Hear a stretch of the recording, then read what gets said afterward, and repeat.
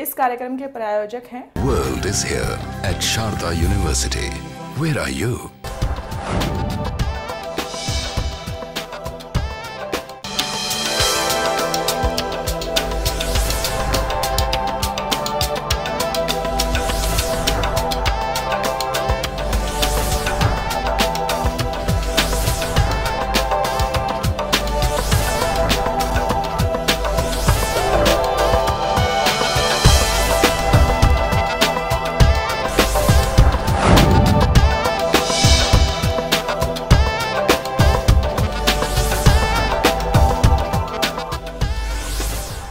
कई बार आपके सामने सेहत से जुड़ी हुई समस्याएँ आ सकती हैं। लेकिन कैसे?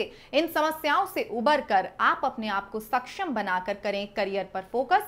देखते हैं करियर निर्माण में।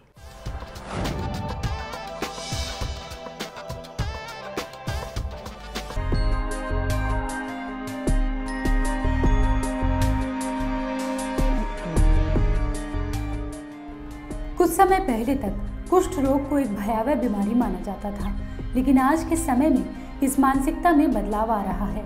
अब इस रोग से ग्रसित युवा भी इसे एक श्राप समझकर डरने के बजाय इसके उपचार के प्रति सजग हैं और साथ ही साथ अपना करियर बनाने के प्रति भी पूरी तरह समर्पित हैं। मेरे स्किन पे राउंडिंग था, रेड कलर का दाग था, धब्बे टाइप का था तो ठंडी के मौसम में ज़्यादा नज़र नहीं आ रहा था। फिर एक दिन अचानक मैं मिरर के पास गया तो मुझे दिखा कि सारे बॉडी में ऐसे, ऐसा ऐसा राउंड टाइप का धब- धब्बा था। फिर मैं आया या डॉक्टर के पास चेकअप कराया। फिर उन्होंने बताया कि लेप्रोसी प्रॉब्लम है वहाँ पे। तो फिर सर से मिला मैं। उन्होंने बताया कि तुम्हारा कुछ रोग जो बीमारी होता है वो है, वो तुमको रिएक्ट कर गया है रिएक्शन हो गया है। तो एक साल की दवा चलेगी। उसके बाद दवा चल रहा है मेरा लगभग चार महीने से चल रहा है। तो कुछ मतलब कि सब सही हो रहा है, ठीक हो रहा है। मैं काम पे जाता हूँ, अपना स्टडी भी करता हूँ। और सारा रूटीन सही है, बस हफ़्ते में एक दिन मिलने आना पड़ता है हड्डी छुट्टी लेके मैं आता हूँ, फिर दवा लेके अपना चले जाता हूँ। कई बार हाथों में आपने देखा होगा इस तरह का, पैरों में चल नहीं पाते हैं। ठीक है, उसके लिए हम रिकन्स्ट्रक्टिव सर्जरीज करते हैं। ठीक है, हाथों की जो क्लॉ हैंड बोलते हैं डिफॉर्मिटी उसके लिए हम नसों को जो स्वस्थ नसें हैं, उसको डिज़ीज़ नसें से बदल के वो डिफॉर्मिटी सही हो जाती हैं। पैरों में जो चलने में परेशानी आती थी पेशेंट को फुट ड्रॉप सिचुएशन होती थी। उसको भी हम टेंडन ट्रांसफ़र करके काफ़ी करेक्ट किया है। यहाँ पे हमारी हॉस्पिटल में काफ़ी सर्जरीज हो रही हैं उस तरह की और काफ़ी पेशेंट्स हैं जिनको इनसे फ़ायदा हुआ है। तो इन इन सर्जरीज़ को जो कि रिकन्स्ट्रक्टिव सर्जरीज़ हैं, यदि अच्छी तरह से किया जाए और proper followup rehabilitation point of view से तो मैं नहीं समझता कि इतनी क्रिपलिंग है कि आजकल इसको एक स्टिग्मा की तरह देखा जाए और मोर और less almost hundred percent recovery है। किसी भी रोग के प्रति जागरूक होना बहुत ज़रूरी होता है और इसके लिए युवाओं को ये जानना बहुत ज़रूरी है कि इस रोग का उपचार क्या है।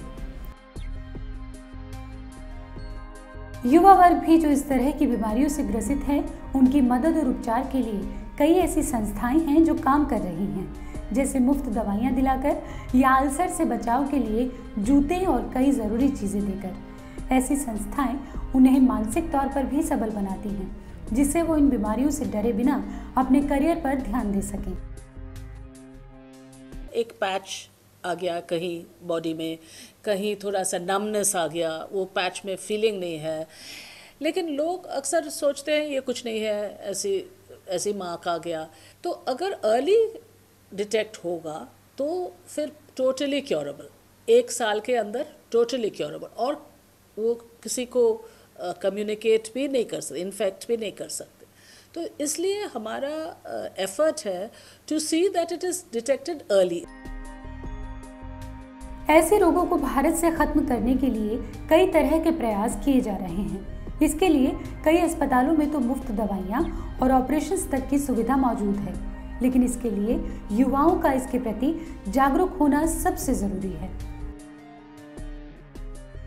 लॉस ऑफ़ सेंसेशन होता है जब उनको पता नहीं चलता है सूनापन आ जाता है तो उसमें क्या होता है कि आ, उनके पाँव को जब कांटा चुभ जाता है या आ, नंगे पाँव चलते हैं मोस्टली तो अल्सर आ जाते हैं उनमें ब्लिस्टर्स हो जाते हैं।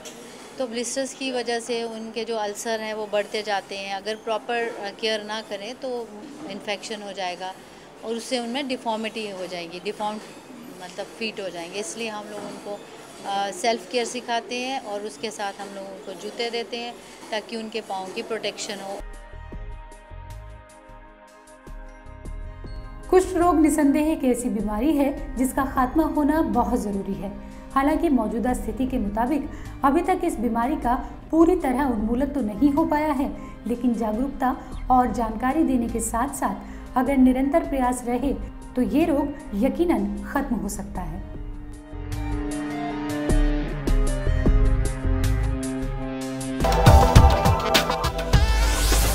इस कार्यक्रम के प्रायोजक थे।